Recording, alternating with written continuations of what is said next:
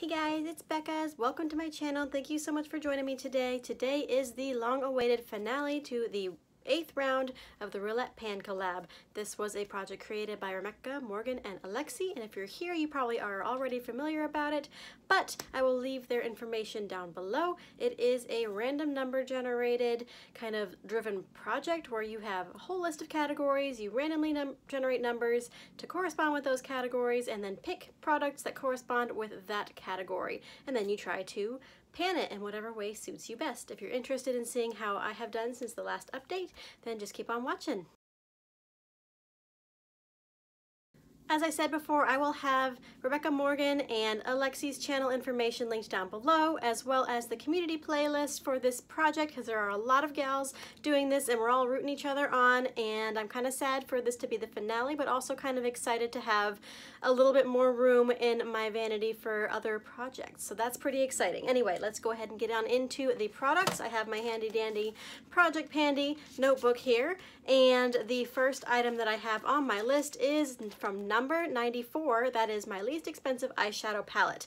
And for this, I interpreted it to mean the palette that I spent the least money on.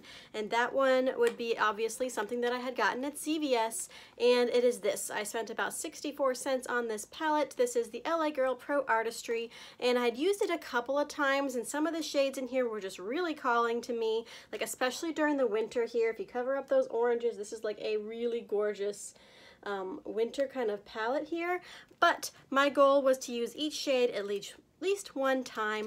And as of today, it is the 13th I am filming this. I have used each shade one time on my eyes since last month. And this one here is actually on my eyes. I kind of cut that one close. So I am wearing the last shade on my eyes today. So I have met my goal on this first product. The second item comes from category number 45, and that is a product that reminds you of your favorite Disney villains. So Captain Hook and me have been hanging out the last month, and I have been using this black eyeshadow from Natasha Denona because from the Once Upon a Time series. He is very well known for his guy liner, so this reminded me of it.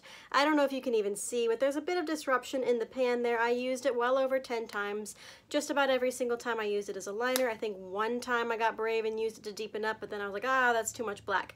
But I did enjoy pulling this out and playing with it, and I have also met my goal because I wanted to use it at least 10 times, and I have done that. The next product that I have here is my most expensive base product, which is category 87. And for me, that was my IT Cosmetics CC Plus cream. I also had another product from IT Cosmetics that was the exact same price. I chose to use this one. I used this one 41 times in the first month that it was in. This is the second month that has been in and I used it 40 times this month so I'm pretty consistent with that. I've used it every single time. I mean there's still plenty of product in here. Um, it is starting to spit a little, so we're getting close to the end here, but I have a while to go. I'll just keep on using it, see how much longer this lasts me.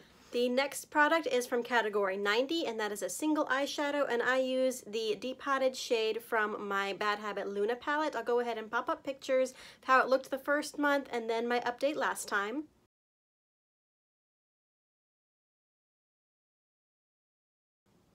And this is what it is looking like now. Like there's just a tiny little sliver of product in the corners there. And for the purposes of this product project, I am considering this done and completed because I am planning on wearing this tomorrow. There is a look that I love that I have come up with by combining this shade with the Jackie Aina palette with this on the outer half of my lid and Trust Issues on the inner half of my lid. And it just like, mwah, I love it.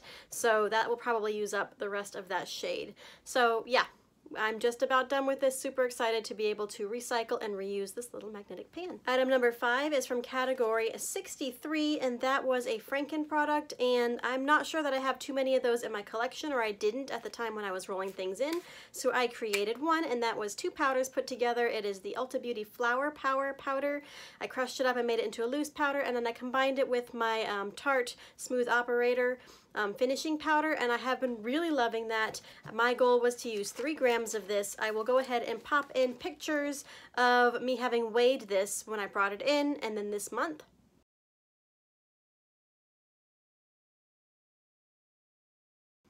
And as you can see, I have used 3.5 grams. I did a little bit of math there. Started in at 72 plus grams and then we're a little bit over 68 grams. So I have used three and a half grams of this product here and I am very happy to continue using this. I will probably keep it in my vanity until it's actually used up.